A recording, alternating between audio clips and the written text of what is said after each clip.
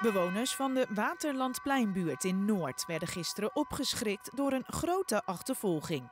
De politie reed op de Eidoornlaan een auto klem en een agent heeft daarna een waarschuwingsschot gelost. Wat wij meer zagen is dat er echt 30, 40 polities alleen maar rondgingen de hele straat op.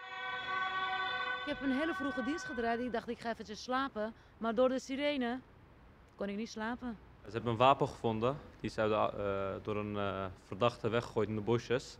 Die is uiteindelijk door een eh, hond gevonden, door een politiehond. Dat was een grote, grote wapen. Dat is geen kleine wapen. Het is een machinegeweer, denk ik. De politie zegt dat de achtervolging ontstond na een verdachte situatie op een parkeerplaats op Zilverberg in Noord. Nadat de auto was klemgereden, zijn er twee verdachten opgepakt.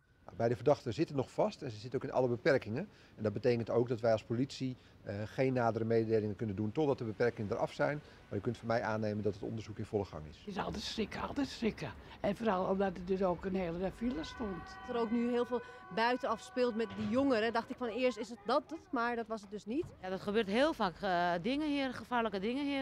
Het is gewoon niet normaal. Het is echt, en overdag ook nog, hè? niet avondklok eens. Het is echt belachelijk.